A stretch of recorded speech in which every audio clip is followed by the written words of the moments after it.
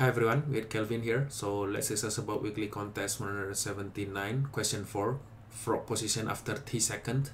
So we are given undirected tree. So um, and it have n vertices, and then the frog will always start from vertex one. So we are we know like vertex one is the root, and then in the in every second like uh, the frog can jump um, to its direct um, neighbor of the node but it cannot jump back so it means it cannot like um, jump back and forth but uh, it can only visit one node once.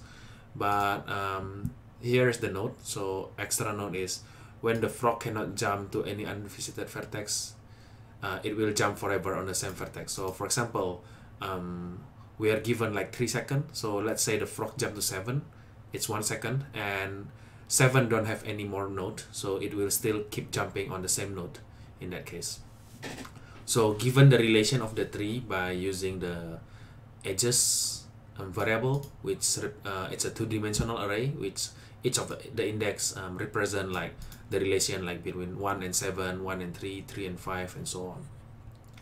So the question here is to return the probability after t second that the frog can end up on the target node. So in the first example here um, basically to jump to 2 it need like 0 0.333 uh, 1 per 3 of the probability. And then next thing is like 1 per 2 of the probability. So in total it need like um, 1 per 6 of the probability which is uh, represented in decimal uh, in the double. It will be in this value. So we output um, that probability value.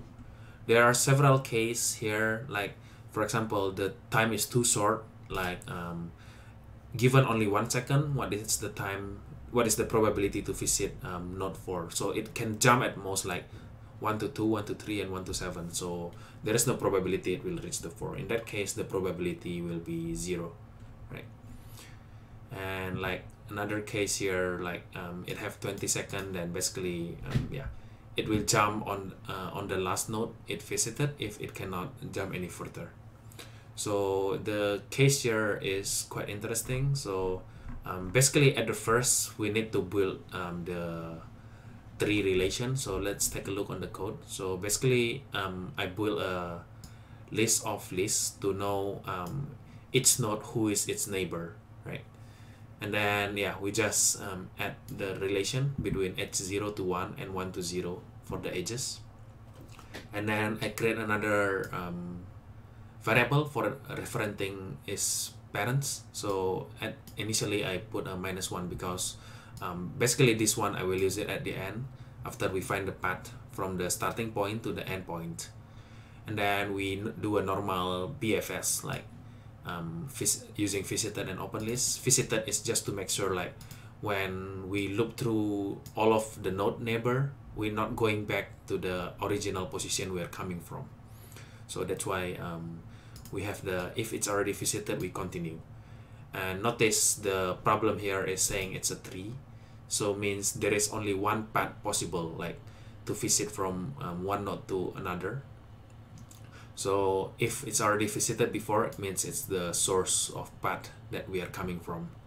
And then as usual we add it to the open list and then mark it as visited. And we, uh, we are sure about the parent of current node is uh, that neighbor is uh, ourselves like for example 1 jump to 3 we reference like parent of 3 is 1 and here I have some part of the code like I said h minus 1 h 0 minus 1 h 1 minus 1 target um, decrement. So I want to start it with uh, index 0 because the question here is starting from index 1 just to make the code uh, a bit easier to do.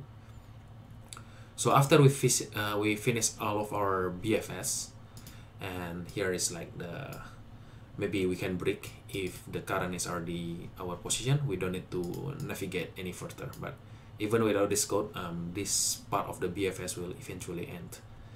So continue to the um, path we're going to generate.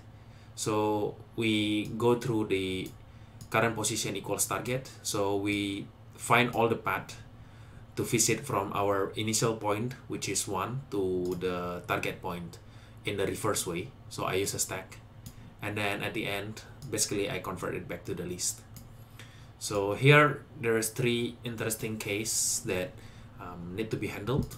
So first thing is like the path is too far away um, compared to the time we had then that means we need to return uh, zero probability to visit that node because the time is too less. But if we can finish it in a very fast time um, means there is another corner case like for example uh, we're going to visit node 3 with the times of 2 um, it's not possible to do so because once it's jumped to 3 uh, the time is 1 but it cannot jump on uh, on the same node when uh, you still have time and you still have path to visit. So it will uh, go to 5 means there is zero probability to visit 3 with the time of 2 okay?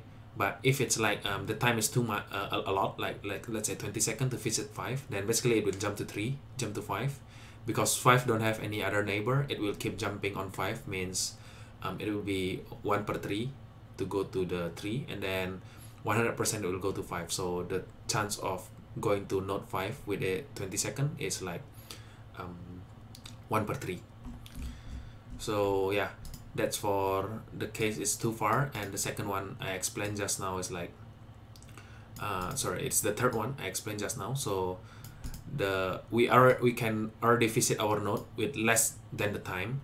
Then next thing we need to make sure is like um, our target position um, neighbor is only one means it's only the node that we are coming from. Then if it's more than that like when we have more neighbor than one means after we come to that node we still can visit other node. Then that means it's not possible for us to stop at that node. That's why we return a zero zero.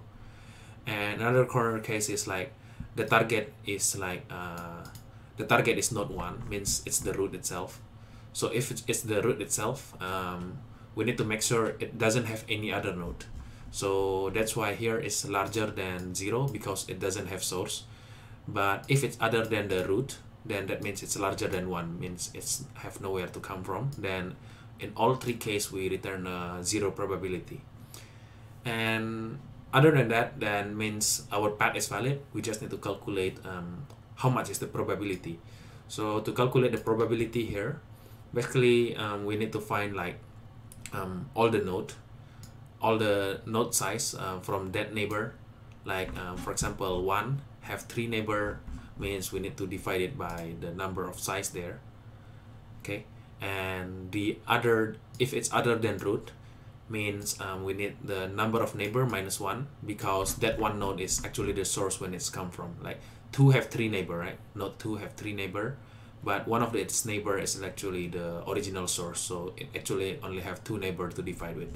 So that's why um, there is a extra minus one there and we will end up with the probability at the end.